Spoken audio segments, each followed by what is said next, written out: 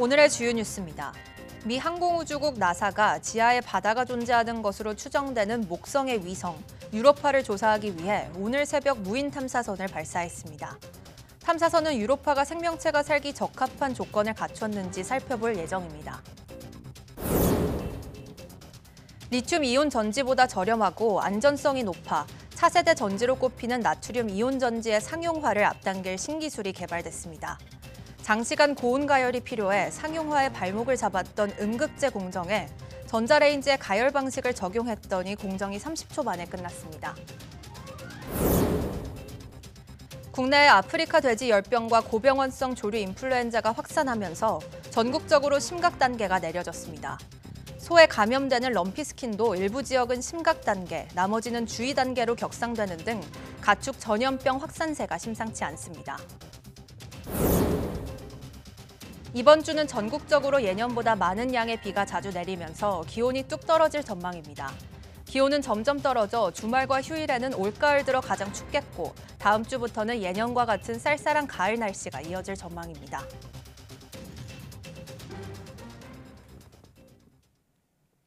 여러분 안녕하십니까? 10월 15일 사이언스 투데이입니다.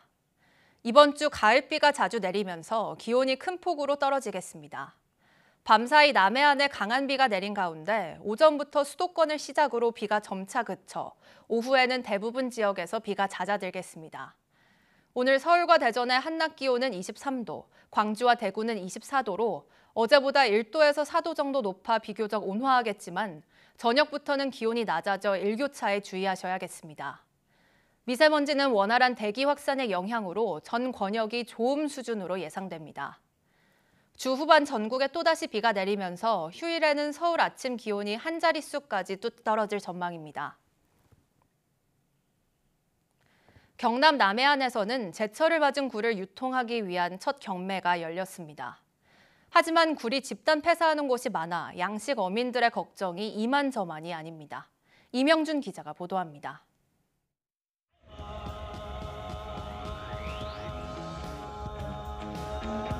올해 첫 굴 경매 시작 초매식.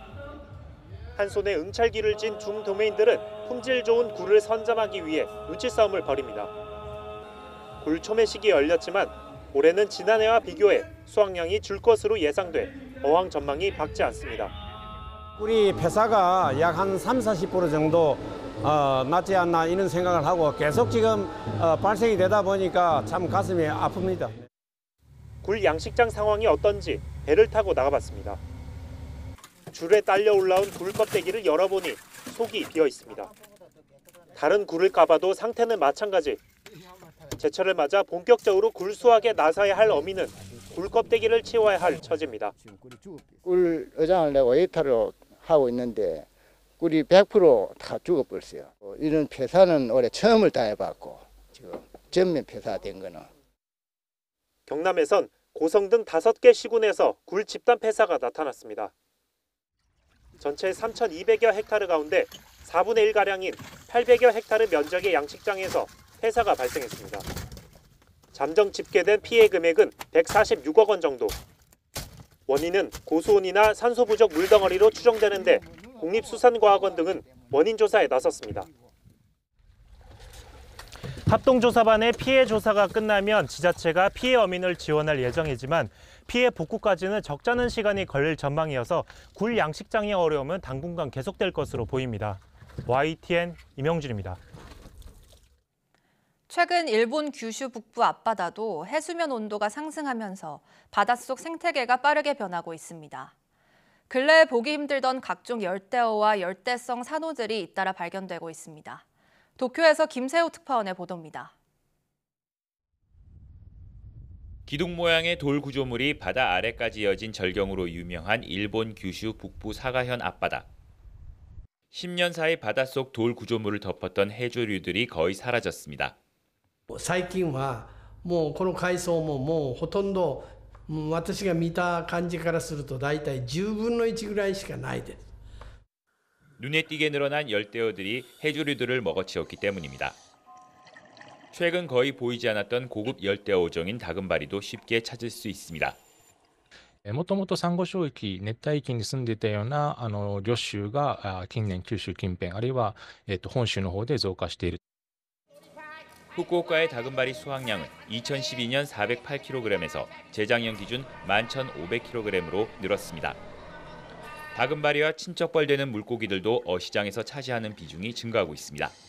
この数年本当多くなりましたねこういうものが色のついた赤い魚が多くなりました 규슈 북부 앞바다를 포함한 동중국해 북부의 바닷물은 과거 100년 동안 평균 1.3도 상승한 것으로 파악됐습니다. 또 열대 어류뿐 아니라 부드럽고 밝은 색깔의 열대성 산호도 어렵지 않게 찾을 수 있습니다. 해수 온도 상승에 따른 바닷속 생태계의 급격한 변화가 가져올 나비 효과와 부작용에 대해 일본 환경 당국이 예의주시하고 있습니다. 도쿄에서 YTN 김세호입니다. 생활이 어려워 의료비 등을 지원받는 의료급여 수급권자 10명 중 6명은 최근 3년 사이 건강검진을 받지 않은 것으로 나타났습니다.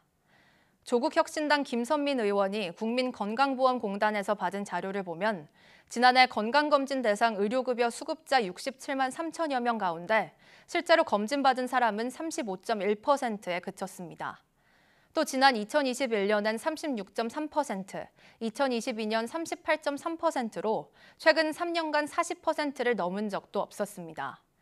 김 의원은 전체 건강보험 가입자의 건강검진 수검률이 대체로 70%를 넘는 점과 비교해 차이가 크다며 의료 취약계층의 수검률을 높일 방안이 필요하다고 지적했습니다. 의료기관을 갈 때 호흡기 증상이 있으면 마스크를 항상 쓴다는 사람이 4명 가운데 1명꼴인 것으로 조사됐습니다. 질병관리청이 최근 의료기관 이용 경험이 있는 성인 3,000명을 조사한 결과 의료기관 방문 시 기침이나 콧물 증상 등이 있으면 마스크를 착용하느냐는 물음에 82.3%가 그렇다고 답했습니다. 다만 57.3%가 대체로 그렇다고 답했고 항상 마스크를 쓴다는 응답자는 25%에 그쳤습니다. 화장실이나 엘리베이터를 이용하고 손 위생 관리를 하느냐는 질문에 그렇다는 응답은 75%, 항상 그렇다는 응답은 18.5%였습니다. 또 건강에 이상이 있는 상황에서 환자를 방문하지 않는다고 답한 비율은 평균 90.3%로 전년 평균보다 5%포인트 넘게 올랐습니다. 아프리카 돼지열병부터 시작해 럼피스킨과 조류 인플루엔자까지 모두 지금 퍼지고 있는 가축 전염병입니다. 대부분 심각 단계인데 농가와 방역 당국이 바짝 긴장하고 있습니다. 지환 기자가 보도합니다. 강원도 화천에 있는 돼지 농장입니다. 도심과 뚝 떨어진 외곽, 입구는 철저히 막혔습니다. 키우던 돼지가 폐사해 시료를 검사했더니 ASF 아프리카 돼지열병 감염이 확인됐습니다. 대형 트럭에 담겨 옮겨지는 매몰 저장조, 키우던 돼지 3,500마리 모두 매몰 처분 대상입니다. 발병 원인은 역시나 아직 모릅니다. 농장 주변에서 죽은 감염 야생 멧돼지 사체와 이를 매개로 퍼진 파리나 모기 등이 의심되는 상황. 방역대로 설정된 반경 10km 주변 농가는 다음 달 말까지 출하가 사실상 꽉 막혔습니다. 3주를 또 잡으면 40일이야. 그러면 40일 후에 돼지를 빼라그러면 11월 말일경이란 말이야. 11월 말일. 그 안에 우리 지금 출하해야 되는데 큰일 났어. 아이. 아프리카 돼지열병 ASF의 경우 지난 2019년 그러니까 5년 전부터 이곳 강원도는 심각 단계를 유지하고 있습니다. 그런데 이게 다가 아닙니다. 전국적으로 보면 소는 럼피스킨, 조류의 경우 고병원성 AI가 곳곳에서 발병한 상태입니다. 1급 가축 전염병인 럼피스킨은 모기 같은 흡혈곤충이 옮깁니다. 폐사율은 10% 이하로 높지 않지만 소는 식욕 부진, 젖소는 우유 생산량 감소로 이어집니다. 올해는 지난해보다 두 달 빨리 발생했습니다. 조류도 심상치 않습니다. 앞서 전북 군산 만경강 야생조류 분변에서 H5 고병원성 조류 인플루엔자가 확인됐습니다. AI 조류 인플루엔자의 경우 특히 유동적인 철새 이동 경로가 방역 변수입니다. 아프리카 돼지 열병하고 그다음에 고병원성 조류 인플루엔자는 심각 단계에 지금 예 있고요. 럼피스킨이 발생되고 그 연접되어 있는 시국 같은 경우는 지금 현재 심각 단계고 나머지는 주의 단계에 있습니다. 쌀쌀해진 날씨와 함께 여기저기서 확산하는 가축 전염병. 방역 당국은 예찰과 소독에 집중하는 한편 어느 농장이든 증상 발견 즉시 신고해달라고 당부했습니다. YTN 지환입니다.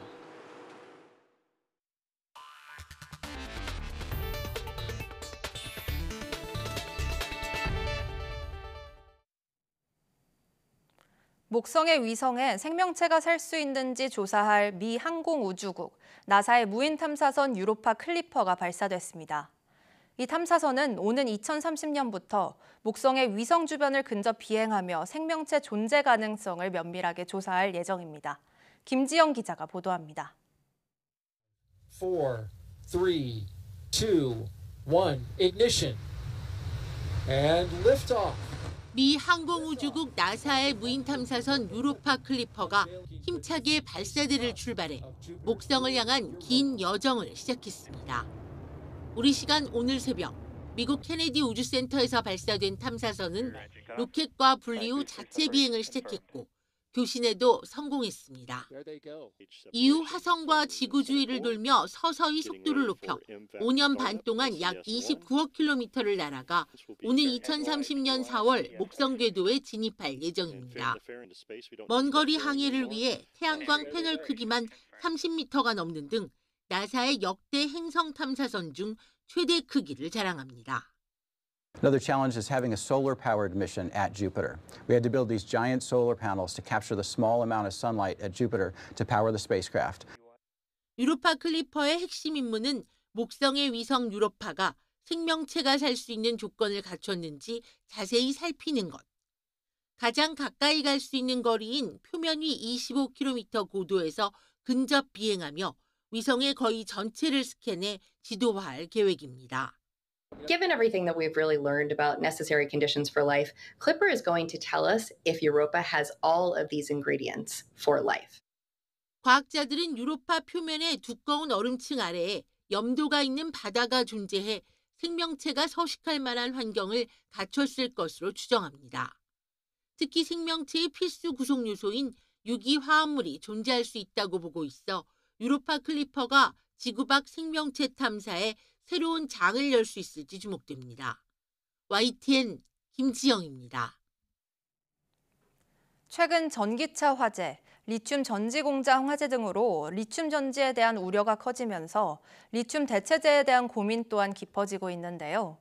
국내 연구진이 차세대 2차 전지 중 하나인 나트륨 이온 전지의 상용화를 앞당길 수 있는 기술을 개발해 기대감을 높이고 있습니다. 임늘솔 기자가 보도합니다. 지난 6월 리튬 전지를 생산하는 공장 내부에서 연기가 피어오르더니 순식간에 불길이 치솟습니다. 소화기로 진화를 시도하지만 폭발과 함께 연기가 공장 내부를 가득 채웁니다. 최근 리튬 전지와 전기차 화재가 연이어 발생하면서 리튬 전지는 어느덧 화재 주범으로 인식되고 있습니다. 리튬을 대신해 값싸고 안정적인 대체제 개발이 시급한 상황인데 소금의 주성분인 나트륨이 주목받고 있습니다. 이에 국내 연구진이 차세대 2차 전지인 나트륨 이온 전지에 필요한 하드카본 음극재를 빠르게 만들 수 있는 기술을 개발했습니다. 나트륨은 리튬보다 매장량이 1000배 이상 많아 구하기 쉽고 화재 위험이 적으면서도 최대 영하 20도에서 90% 이상의 성능을 유지할 수 있습니다. 그 나트륨 이온 전지는 어, 리튬보다 어, 그 나트륨이 리튬보다 반응성이 좀 낮아서 어, 이제 전지 내부에서의 전기화학적 성능이 또 좋고 또 고속 충방전에도 유리하고 더 나아가서 이 저온에서도 잘 성능이 유지가 된다는 장점이 있습니다. 지금까지 나트륨 이온 전지의 상용화가 어려웠던 건 기존 음극재를 쓸 수 없고 나트륨 이온 전지용 음극재인 하드카본이 필요하기 때문입니다. 문제는 하드카본을 만들려면 탄화수소 재료를 1000도 이상의 고온에서 오래 태워야 해 공정이 어렵고 비용도 많이 든다는 겁니다. 이를 극복하기 위해 연구팀은 마이크로파 유도 가열 기술을 활용했습니다. 마치 재료를 전자레인지에 넣고 돌리듯 30초 만에 1400도 이상으로 고속 가열해 하드 카본을 빠르게 만들었습니다. 기존의 마이크로파 기술과는 다르게 어, 전도성 소재를 굉장히 잘 선택적으로 빠른 속도로 어, 가열할 수 있는 어, 새로운 기술입니다. 연구팀은 마이크로파에 의한 전자기 유도 현상과 유도 전류에 의한 현상을 한꺼번에 컴퓨터로 계산하는 multiphysics 시뮬레이션을 활용했다고 설명했습니다. 또 hard carbon의 성능을 높이고 대량 생산할 수 있도록 추가 연구를 이어가 나트륨 이온 전지의 상용화를 앞당기겠다는 계획입니다. YTN 사이언스 임들솔입니다. 국내 연구진이 전기차 충전 시간을 대폭 단축하는 기술을 개발했습니다. 광주과학기술원 기계로봇공학부 이승현 교수 연구팀은 고성능 전기차 배터리 충전 시간을 3분 20초 이내로 단축할 수 있는 충전 케이블 냉각 기술을 개발했다고 밝혔습니다. 기존에는 급속 충전 시 발생하는 과도한 열을 효과적으로 냉각하지 못해 충전 시간이 길어졌는데 연구팀은 냉각 루프를 활용해 발열 케이블을 효율적으로 냉각하는 방법을 실험으로 검증했습니다. 또 케이블 표면 온도가 80도 이하로 안전하게 유지되는 것을 확인했고 세계에서 가장 빠른 640kW급 급속 충전기보다 2배 이상 빠른 충전이 가능하다고 덧붙였습니다. 연구팀은 전기차 충전 시스템뿐만 아니라 고속열차, 송전선 등 고전류를 전송하는 다양한 분야에 활용될 수 있을 것으로 기대했습니다. 최근 3년간 한국과학기술원 카이스트에서 의대 진학을 위해 자퇴한 학생이 180여 명에 달한 것으로 확인됐습니다.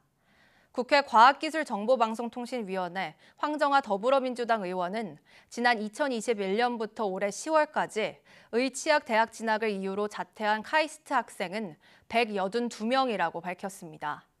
학사과정이 178명이었으며 석사과정 2명, 석박사 통합과정 1명, 박사과정 1명입니다. 황 의원은 의대 증원으로 이공계 인재 유출이 우려되는 상황에서 이공계 학생들에 대한 전폭적 지원으로 이공계 성장 사다리를 마련해야 한다고 말했습니다. 오는 11월 14일 치러지는 2025학년도 대학 수학 능력 시험이 이제 한 달여 앞으로 다가왔습니다. 전문가들은 새로운 내용보다는 지금까지의 오답 노트를 다시 확인하고 취약 부분을 공략해 한 문제라도 더 맞히겠다는 전략으로 임해야 한다고 조언합니다. 백종규 기자의 보도입니다.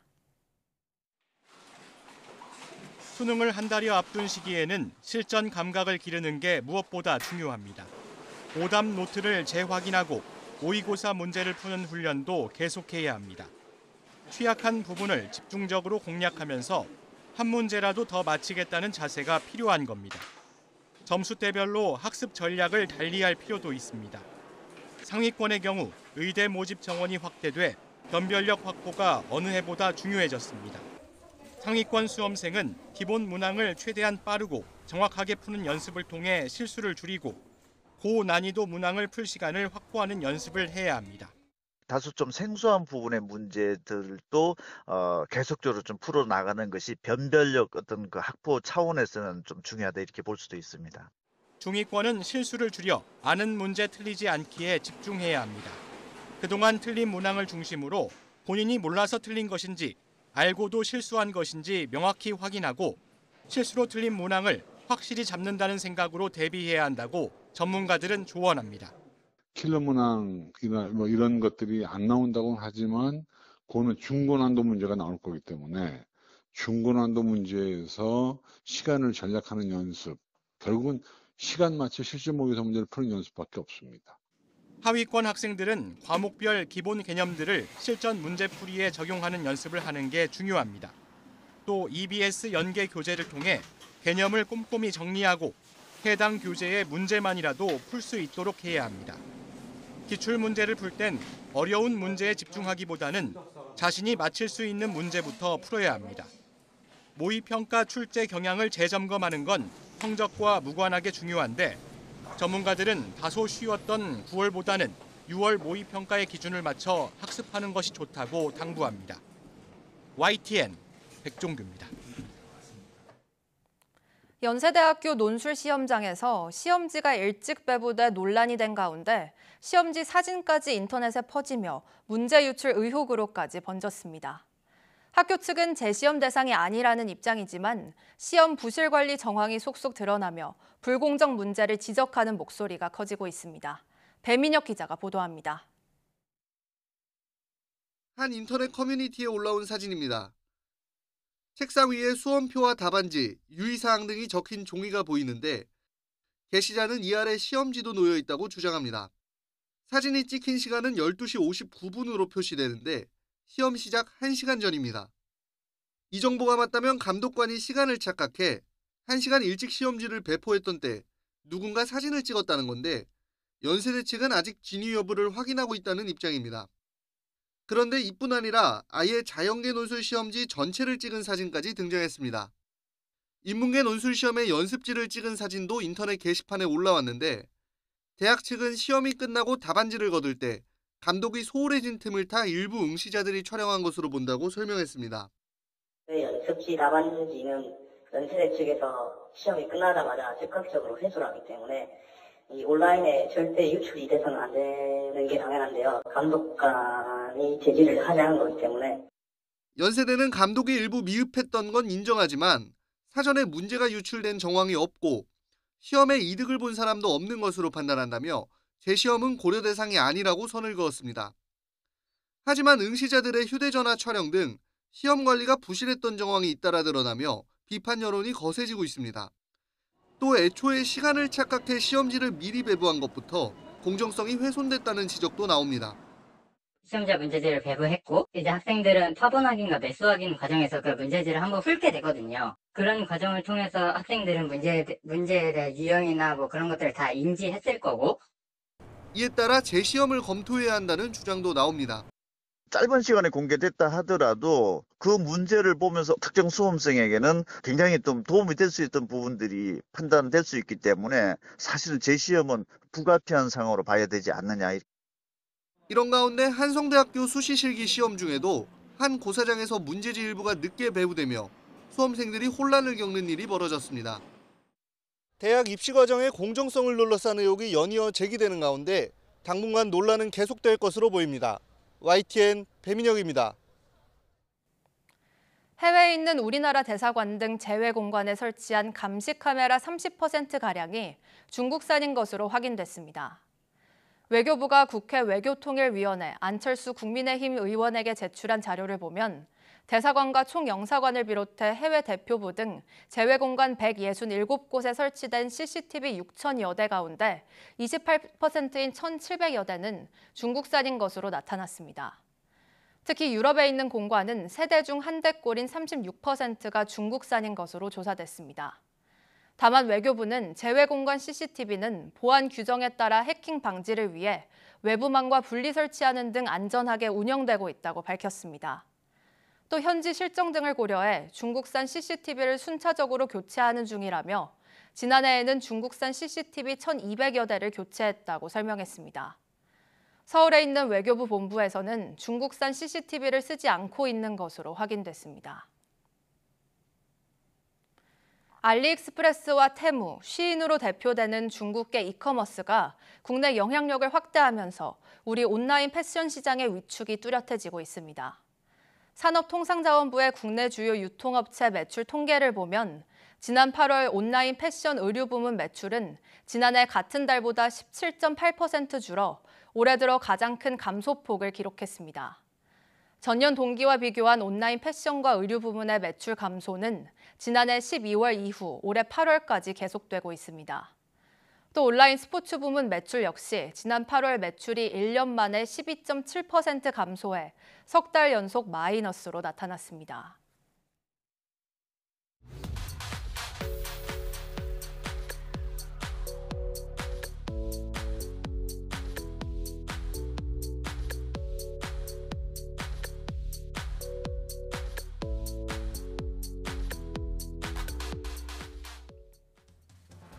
미 항공우주국 나사가 무인 탐사선 유로파 클리퍼를 발사해 목성의 위성에서 생명체 존재 가능성을 살펴볼 예정이라는 소식 전해드렸는데요.